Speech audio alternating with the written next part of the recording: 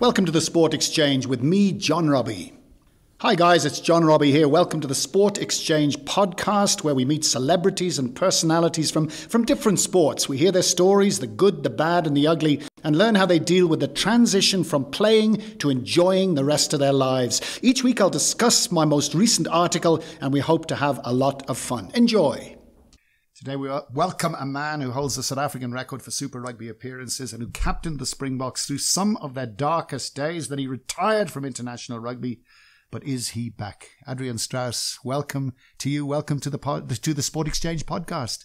Hi, John, and uh, yeah, thanks for having me on. It's great to have a chat with you. Are you back?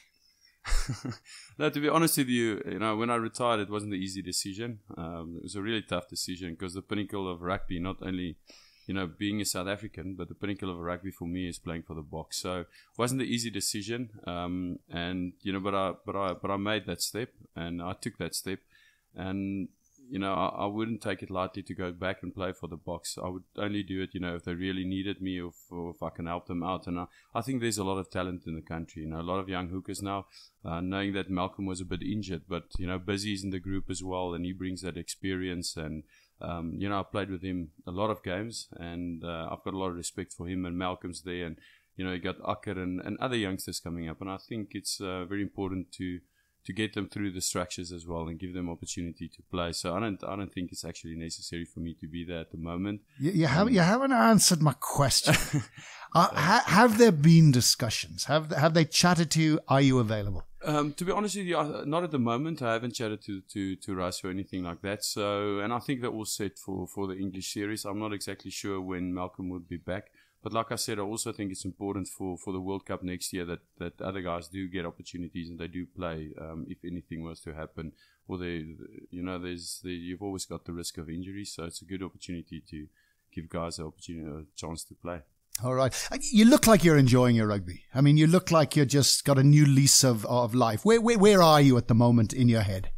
I'm loving rugby at the moment. Uh, I've had a, I've been a professional player now for 15 years, and to be honest with you, I loved most of uh, of my career playing rugby. Uh, like you mentioned, there was a tough year and a half, but I also enjoyed some of that, and it was a massive honor. And you know, I wouldn't still wouldn't change it, and I accepted that responsibility, and I knew full, you know. Uh, I knew well what, what I got myself into. Uh, I didn't expect it to be as tough, you know, or the the results be as bad as they were.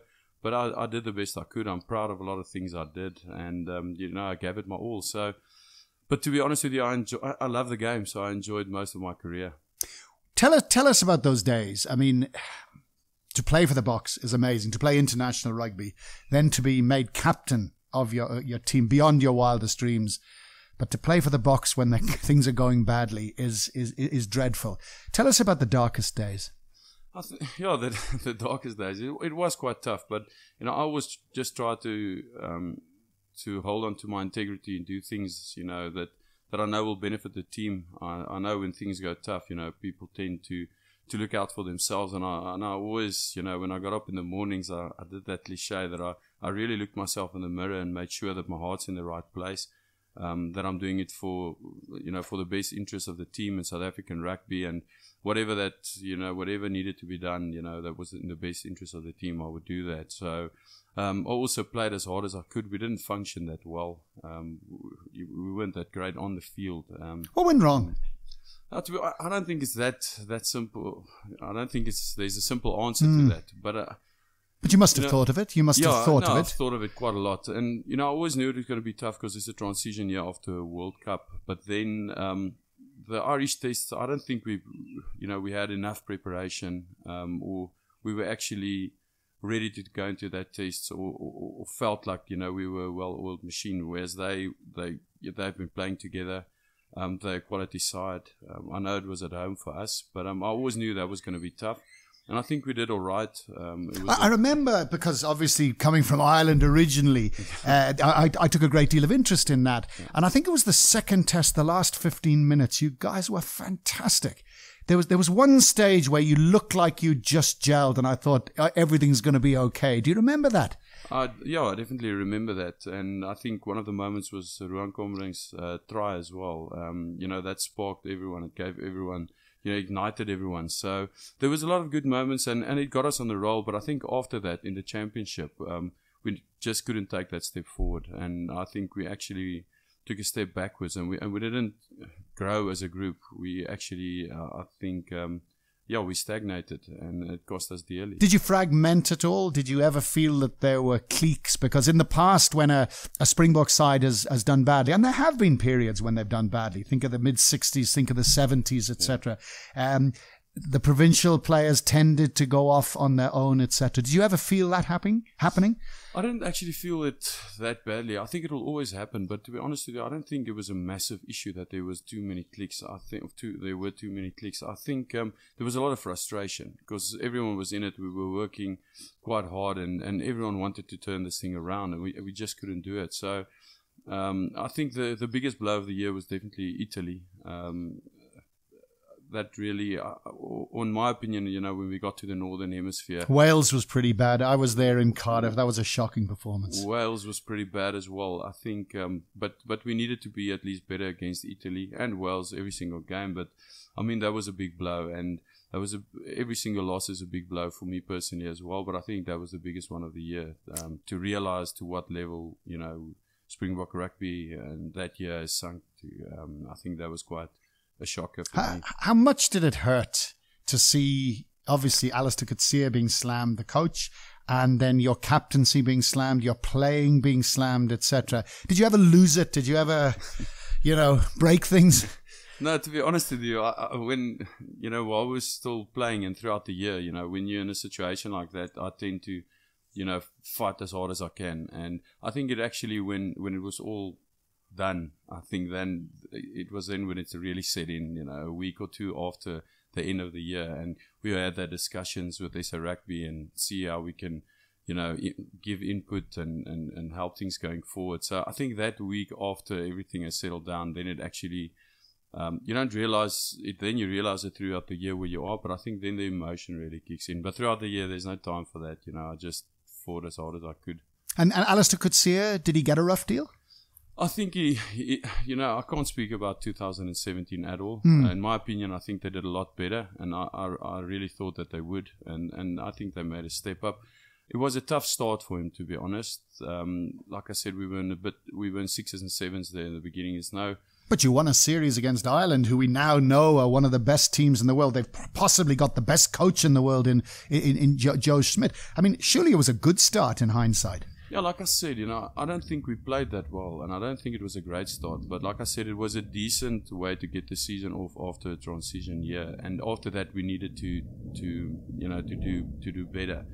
Um, and then we just couldn't. Um, uh, we just couldn't get it together, and we couldn't take that step forward. So, and then as the pressure came on, and or not the pressure, but um, I just think we deteriorated actually. Mm. The, I mean, what what used to bug so many people was and of course, the media pressure is huge. It's lovely to talk to the media when you're winning, but when you're losing, it's it's it, it, it's a bind. And we kept hearing how well you were training, kept hearing how well you were preparing, kept hearing how well everything was going. And then we'd get Italy and we'd get Wales and, and so on. How difficult was it fronting up? Uh, fronting up, fronting the, up to the media to the as media. captain. It, as captain, as captain, it was quite tough. But I always, you know, I always when uh, always faced them. Um, I always asked to face them, especially in the tough times. You know, when there wasn't a lot of people. I didn't want to put anyone else on the spot, or you know, I, I thought that if, especially when it's tough, it's my responsibility to face them. So I did that, and it, it's not easy, you know, and there's only so many words that you can describe at the end of the yeah. season what's going on. So it becomes a situation where you really um, you repeat yourself in a lot of things, and it, it, it gets I can I can think that it gets irritating to hear, but a lot of the things were true, and uh, um, all of them were true. But I mean, and um, I know people want to hear the answer and the only answer and the exact answer. If there was anything like that, then you know we would have changed it and we would have won. So um, it's not always as easy working with a lot of people in a big group and a big dynamic. So, yeah. T- tell us about being made captain, because there was some controversy about that that developed about whether you, in fact, said you were going to retire at the end of the year. I remember it was a bizarre situation, and I think in a way it got swept under the carpet. Tell us about how you were made captain and what was said and what wasn't. Yeah, there's no controversy over that at all. Uh, Coach Allister called me in and he asked me in Stellenbosch if um, if he asked me to be captain, if I if I was willing to you know to to do it. And I told him that you know it's a massive honor and I would definitely do it, and it would be yeah, you don't you dream of playing for the Springboks. You don't dream of becoming captain. So it's it's beyond my dreams. It was beyond my dreams, and the only thing I asked him is it must be fine with the so-called senior players. So there wasn't a group of senior players, but I just felt like you know the guys and the senior guys and the guys that's been there, they must really be comfortable with that. So mm. as far as I know, he had a conversation with them or with a group who I don't know, and you know they were quite keen. So um, that was important for me because I, I know I knew that I needed um, needed buy-in from everyone and I needed support and um, yeah so for, it was actually a good start for me knowing that that I had the backing of the guys. And, and did you say, look, I'm retiring in a year? No, I didn't say that. I did that in the championship. I told I had a conversation with Coach Allister, and I told him I don't know if I'm going to be there in 2019. What changed your mind then? Because presumably when you started off, you were looking at playing as as long as you could. I was looking to play as long as I could, but I also, you know, in my first media conference that was also in Stellenbosch, I said it's a week by week thing, and mm. um, it sounds sometimes it sounds a bit airy fairy, but I really I really stick to the fact that if it's not something's not the best for the team, then I can't. You know, if I, I had a four year contract with the Boks and I only played a year and I had to give three, no, I had to give. I gave three years back, and you know, I thought of it as give a youngster opportunity. Um, make sure he stays in South Africa. Use that money, utilize it. I could have hanged on there for you know, just try and be in the group for. But there must have salary. been more to it than that. You're captain of the Boks, and you're suddenly saying, I mean, was it? I heard you were injured. Of course, you had a back injury. I know yeah. that you ended up losing a lot of weight, etc. With a business interest, with a family interest, whatever. To give up the Springbok international rugby at the height of your career is a very strange thing to do. Yeah, I think maybe for you it is. For me, it was the right thing to do, and. Um, the reasoning behind that, the the uh, the number one reason is I didn't think that I would go to the 2019 World Cup ah. because of my back. Um, I really, uh, because of a lot of factors, but I just felt physically that I, I wouldn't be able to make it. And the year before that, you know, especially after the World Cup, you think you can and all of that, but I really struggled physically. Um, I knew there was still three, four years left to the World Cup, and I thought that I wouldn't be able to make it. So. Um, I took the captaincy on as a as a as a I took the responsibility, but I also told Coach Allister that I don't know if I'm going to be there. So throughout this year, I'll I'll, I'll definitely take the captain. What was his reaction?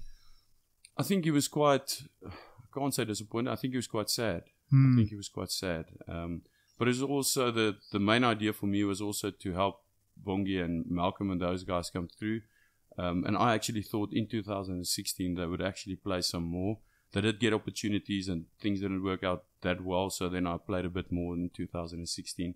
I think they're all great players, and I mean, even in 2016, you know, I think it was quite clear and obvious that in 2019 um, they will be the biggest playing. So, T- tell us um, about your selection. Let's go back to the better days. You have yeah. the, the, moment you first realized you're going to be a, a Springbok. I mean, I, we've dealt with tough stuff now, yeah. okay? Uh, but but tell us about the early selections when you were first told, because you suddenly, in a way, burst onto the scene. You know, your blondie hair was there. You were very very dynamic, etc. Your line-out throwing was always magnificent, etc. But to go from being just a promising player to a Springbok, tell us about that. Yeah, that was it was very exciting. I got the call up and played in 2008 against the Aussies um, in Perth, and it was just you know I played with, with guys that I you know that Lishav I watched them on TV. Yeah. they were actually my heroes. So now I'm standing in a circle with them before a test match and. Uh, looking around me, I, I, was in awe, and it was a massive honor for me. And I don't, I don't get it. I don't feel the nerves before a game actually, but I think that the, maybe once or twice in my career, and that was definitely one of them that I felt it, and I was I was so excited. Tell us about scrummaging because I, I, we were chatting earlier, um, and and there's only six people know what happens in a scrum. And all of them are liars. okay. talk us through a scrum. You're playing against the All Blacks or the, I don't know, Crusaders or whatever. When you put your arms out and your your your your your, front row comes together, you feel the locks in behind, etc. Talk us through a scrum. What goes through your mind when you are talking about a competitive scrum in a competitive game? Because that's something I think nobody other than those six knows knows about. Yeah, I, I love Scrum time just because um, individually you can be as good as you want to. It's it's a team effort, you know. It's it's absolutely about synergy. It's it's about generating a lot of power and um, holding good shape. And if you've got any crack there, um, any guy not pulling his weight, um, you know that that'll show because it's uh, the pressure buildup is, is quite immense. So you know, but, but you say the pressure buildup. Where does it come first? Does it come in your arms first? Then is it your legs? Then is it your back? Give give me more. I think it, you know it's changed as well. Um, but the technicalities, I think these days the hit is very important. Um, after the hit, it must be stable. So you need to generate a great hit. Um, that comes from the front row, but a lot of power comes from the back as well. And um, after the hit, you need to manage it because then the scrum needs to be stable. Otherwise, you give away a free kick. So to get that hit and to explode into it, but then also to be able to to manage it so that you don't give away the free kick, reload, and then after the ball is in, you know, it's you want to get an explosion. Yeah. you also want it very controlled. So you want to tighten up and tighten up because the longer you stay in that fight, the, the more the pressure builds and um, you know that's that's when the shape and all of that's so important. Uh, Philip Orr, who played for the Lions, was a was a, a, a, provincial mate of mine. He said that good scrummaging in a front row, you feel like you're sitting on a wall. he said, "Does that does that, does that resonate yeah, with you?" It's, it's, quite accurate, I think. Um, you know, I've quite often had guys next, to, you know, props or you know, I've heard a guy snore next to me when he literally just passed out, and you know, I've been I've been close to that as well. So I, just love the challenge of that because, um, like I say, it's it's you individually. Um, technically, you need to be sound, and you've got, especially in the front row, you've got a guy opposite of you that you don't have. Um, you know, throughout the rest of the game, it's one on one, but this you've got your opponent right next to you for the whole game, and it's you against him, so you can measure yourself. Um, but then also it's a it's an absolute team effort, so it's quite good. And and who's the who's the toughest scrummager you've ever against? I see a little dog is running around. Sorry here. about that. Yeah, no, what's the name of the, what's the dog's name? No, that's Niels. That's Niels. Hey, yeah, okay, right, Niels. Tell, tell us who's the toughest uh, scrummager you've been against. You know who? Let me rephrase that.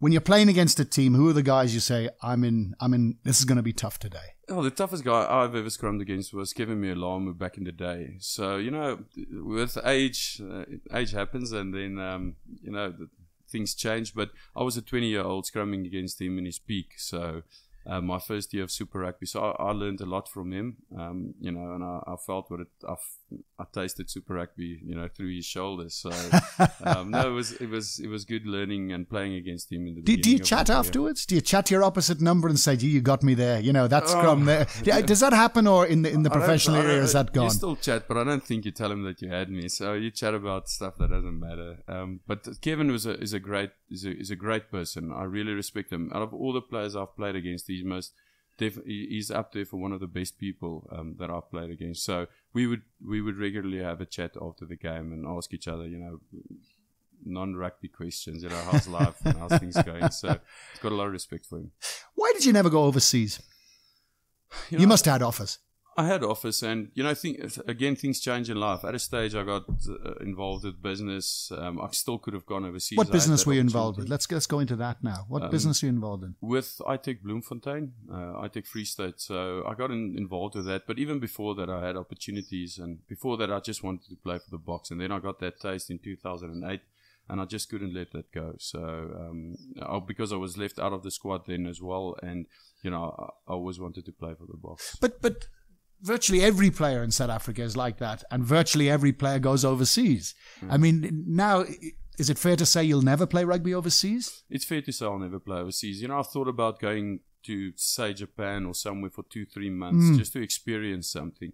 But to go overseas and play there, I, I, I, don't believe I would would ever have done that, and I and I won't do it now. Um, again, there's a lot of reasons. There's not one reason. One of them is I'm I'm too comfortable here. I'm enjoying life here. Well, you're in a so. beautiful house here. I mean, this house is magnificent, hey? Yeah, I, I'm, I'm loving it here in South Africa. So it, it, would be difficult and it would be a big change for me to go overseas. But throughout my career, there's been a lot of different reasons. Not different reasons, but supplementary reasons as well. Business when I was younger, and you know, throughout till uh, right up to now, the the Bok, my Bok dream mm. was was the most important business, family, it's it's always difficult, but especially at a younger age, you know, bef- say before 27, 28, Mm. I think it was it was actually a good opportunity to go overseas with your family. So. Um, yeah, the supplementary reasons vary, but I, I was never too keen to go and go Are, are you a um, instinctive decision maker, or do you analyze and sit and, and go through things and weigh things up, or do you say to hell with it, I'm going to go? No, I'm very analytical, so you know, I'll, I'll think about it. I'll think about it quite a lot, and then then make the decision on based on that. Are you good with money? Are you good? You mentioned businesses, and, and there was a bit of a reputation. I know, I know the media sort of that you were someone who had a lot of other interests rather than, than than rugby. You weren't just solely involved in rugby. Are you good with money? I won't say I'm good with money. I don't actually know what that means, but um, I had the opportunity to go work for for iTech Free State um, seven eight years ago, and the people involved there was Andre Venter and Chris Barnels. Now they Ah. both played for for South Africa, and I played against them many times, both of them. Yeah, I hear they were tough, tough. very, cookies. very fast people. Yes, yes. They- They're still tough cookies, but um, even in the boardroom. But um, so yeah, I, I, I gave Chris a call. Actually, he was in Namibia. Asked him about the industry and said that I have an opportunity, and he said no, I must come see him. And then I started doing sales and started in the back office there. So between rugby, between training sessions, I'd go there and I'd work. So the people at work don't see you often; they see you one day a week, but that's your off day. So at the end of the day, you don't have any any off days. But um, yeah, I worked quite hard for a couple of years, and but I you enjoyed enjoy? Did, I was going to say, did you enjoy it? Do you, think- do you think? Do you think that's given you a platform for life after rugby? Totally, totally. I think it also changed my pers- perspective, and um, it keeps you grounded as well. You know, it, it, it keeps you grounded, and it gives you a totally different perspective than than what I believe some of the guys have that play rugby that they don't study or they don't, you know, work somewhere. Or Because you you studied, you went to Tukkies, eh? I went to Tukkies, but I didn't finish. Yeah. um, I started off because I I actually got included in the in the bull squad a, lot earlier than I thought, so Yeah. it made it quite difficult. No, of course. I don't know how anybody anybody could study. Tell us about Grey College. I mean, because the minute you mention it, you know, people go all dewy eyed. This great rugby nursery, etc. What was different? What was it like being a, a rugby player at Grey? Yeah, well, it was an amazing experience. You know, I think um, for me the the tradition and all of that really gives the place a spirit of its own. And um, on the field, you know, you and especially as a schoolboy, you, you get motivated motivated by that so much.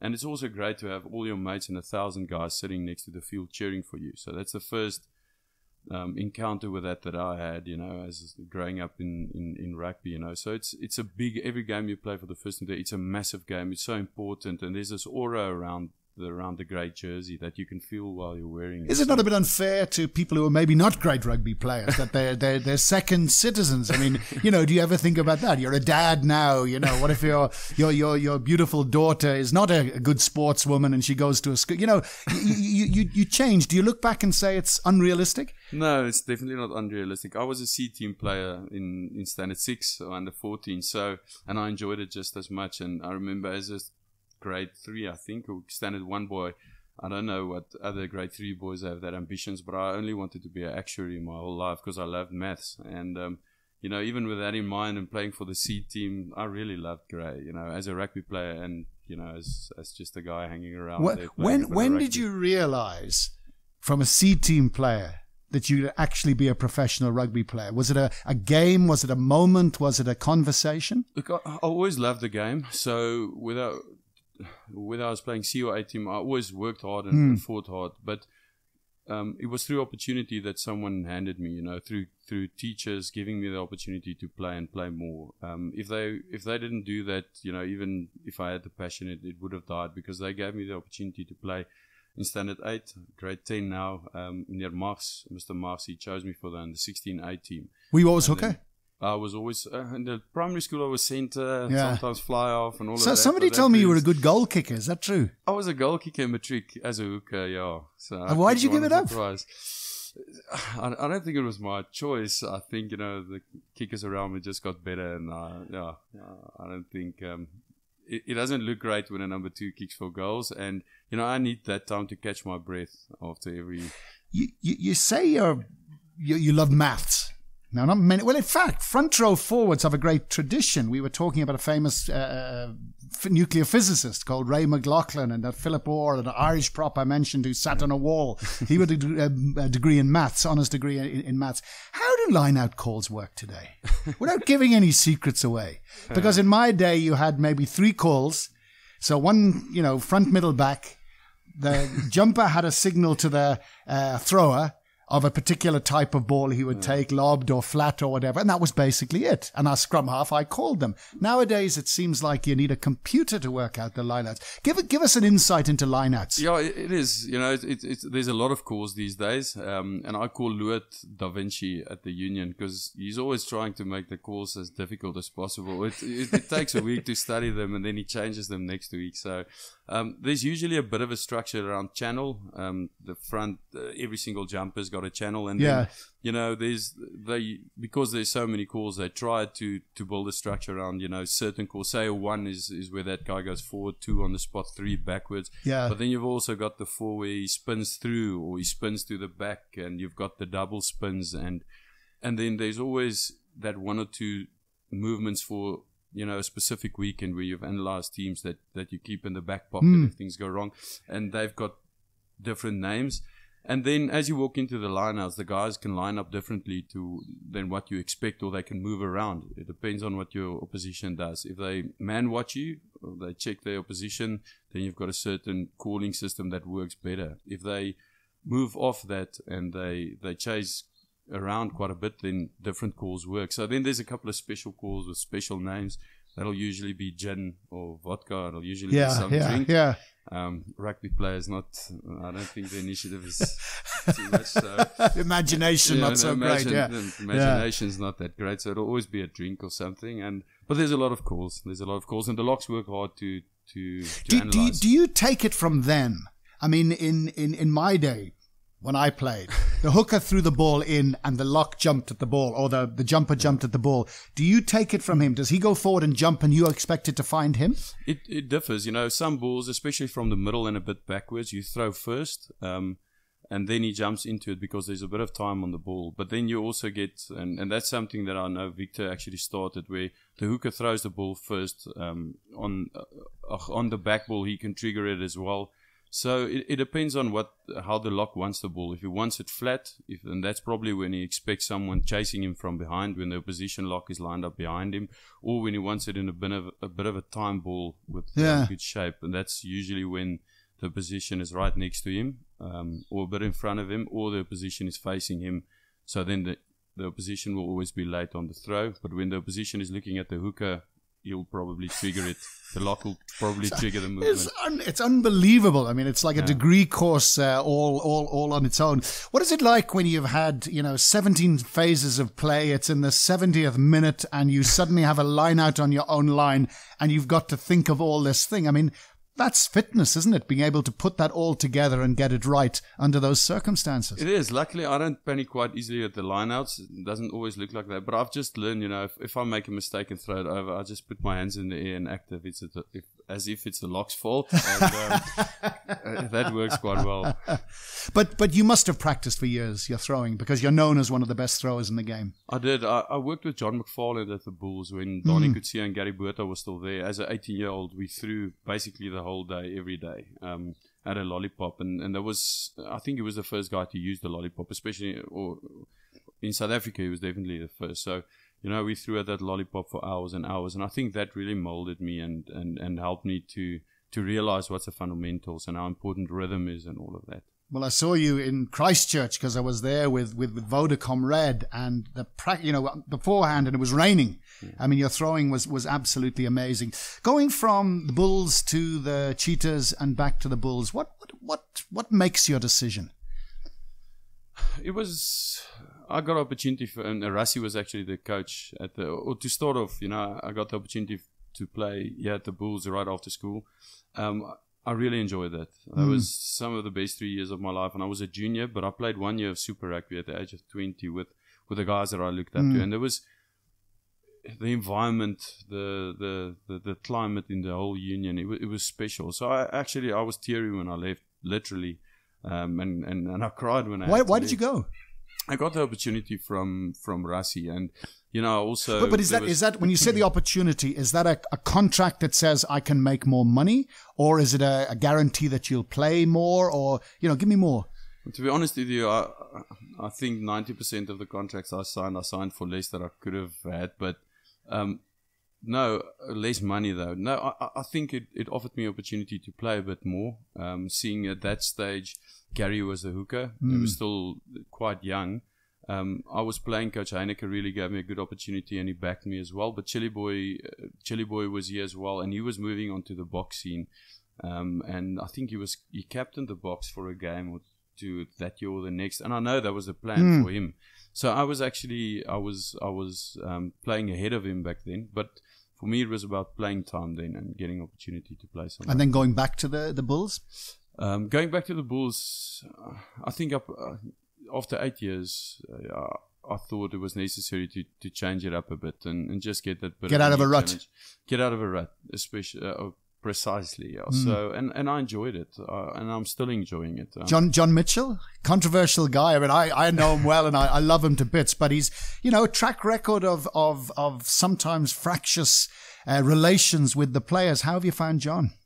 Look, I've heard a lot of rumors before he got here, um, but I'm enjoying him. He's he's got very very high standards, and I think if you understand that, um, that that really helps to understand him as a person. He's got very high standards. He works so hard, tremendously hard. He's his his analytical process and all of that is is really in order, and um, you know he's got high standards for every single player, for himself, but also for the players. And I think if you understand that, then it, it makes it a lot easier. I enjoy working with him. The intensity of it all. I mean, I know he's often said that that the Bulls are still battling to match the intensity of training in matches. Is that fair? I think we're a lot better now. Yeah, he, he's really tried to lift that up, and we we train with GPS systems, so um, we can track ourselves and see how we've grown. And to be honest with you, the guys are really working hard at that. But I, I think the the tempo has lifted, and you can see that on the has lifted. You can see that on the field and on the training field. Um, you know, the stats show that that that there's definitely improvement in tempo. When you look ahead, what are you now? 32, 32, 32 yeah. now. I mean, I know players now can play a lot, a lot longer. Mm. Where, where, where, do you see yourself in five years' time? No, players can play a lot longer, but it depends on the player. I don't think I'm old, but you know, for the amount of rugby I'll play, and that doesn't necessarily mean you're you're done. But mm. I've had eight operations, uh, struggling with a couple of needles here and there as well. So I think I'm very close to finishing off, or I am very close to finishing off and, and, and retiring fully and then going into the work environment, something that I haven't done on a permanent base, eight to five, but I've been exposed to that. And um, do you have any ideas? Are, are, you available? Do you have ideas? Have you are, are, you involved in, in anything at the moment? Yeah, I'm going back to the office in in in in uh, ITEC Bloemfontein, ITEC Free State, but we've also got a lot of clients nationwide, and, and so I know I'll be traveling quite a lot. And in Johannesburg. When you say, what what is ITEC? Is that high tech or ITEC? ITEC. What is that? So we do office automation, copiers, and telephone and PBX systems and all of that. So it, it's yeah, it's it's it's exciting. I really enjoy it. Enjoy what I do. But it it was it was. Um, Butch James said to me, it's not finding a job after rugby. It's when you've run out in a World Cup final in front of 80,000 people and and to find a job that that lights your fire.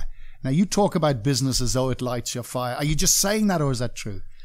No, I like the business world, and that lights my fire. I like to be intellectually stimulated, and and and that is, I won't say it's the same as running and running yeah, out in yeah. front of eighty thousand people, but it's very exciting for me. I think people might find it very mundane, and for me, that's very challenging and exciting. And I like the psychology behind all of that, and so it's it's very. I'm, I'm actually eager to get into that world and, and you know see what I can do there. Isn't, is, isn't that fascinating? Looking back on your on your career, talking rug, rugby now, what would you do differently? What would I do differently? I don't think I would do a lot differently. To be honest with you, I, have made a couple of. Um, maybe made a couple of bad judgment errors, not that I can think of now, but you know, I've learned through every experience. So there's nothing that I would definitely, there's nothing I would do differently now. And and I want you to think about this a young player who's I don't know Craven Week or just got his first contract or, or Varsity Cup etc. Who who who who's wide eyed and bushy tailed and wants to have a rugby career. What would your advice be to him? My advice or her. to him would be or, or to her was would definitely be to um, if you love what you do and, and you're passionate about it, go for it 100%. But that doesn't mean you can't have balance. And um, I actually want to say you need to have balance. Um, and that is, um, more specifically, I'm talking about working Mm. or um, Studying, or maybe, yeah, studying yeah. or doing something. You never know what when something might end. You know when your career might end. Um, and there's definitely a lot of people, some people out there that, that gave it the all and put all of their eggs in one basket and they made it. But there's so many people that, that don't. And unfortunately, even if you work hard and you're so talented, um, it's not in your own hands. Injury can happen. A lot of things can happen. You can you can just not get that opportunity that, that you truly believe you um, you must get and, and probably should get. But um, a lot of things can go wrong. So keep that balance and um, make sure you get something outside of the sport that, that also keeps you keeps you alive and, and that you're passionate about. Do you still play the guitar? I still I still play the guitar. I'm, I'm I don't get time for it actually, so I don't play quite often. It sounds terrible when I play, but Goal kicking, every now and guitar playing. I mean, a lot, lot of surprises here. I always ask uh, uh, everyone, tell us one thing about uh, Adriaan Strauss that nobody knows, or very few people know. one thing. Um, And it can be serious or, or fun, or, or, you know, for Fun, whatever there's for whatever reason. Not a lot of fun. I- I think something, and I told someone this the other day as well, that I'm really fascinated by science and all of that type of stuff. So it, it sounds very uh, sounds very boring, but it's actually quantum mechanics and, and the way things work, and from black holes and, and dark matter. Uh, So I'm I'm fascinated by. it. So in my if I've got off time or at evenings, I, I I I read about that and I enjoy that. Um, what I do is I I get in. I like to get into nature, so Yeah. get to, yeah. So I like. I'm not a good fisherman, but I like a bit of fishing, a bit of hunting, um, just getting out there and, and and getting into nature. So that's who I am. Fantastic, Aaron. Thank you very much for talking to us, and all the best now. Thanks, John. I really appreciate it, and um, I've got a lot of respect for you, and it's uh, it's always great having a chat with you. Thank you very much indeed. What a great chat with uh, Adriaan and Niels, his beagle. So interesting to hear his thoughts on rugby and on life. Follow us on social media at TSE Advisory and subscribe on iTunes to get all our updates. See you next time. Cheers from John Robbie.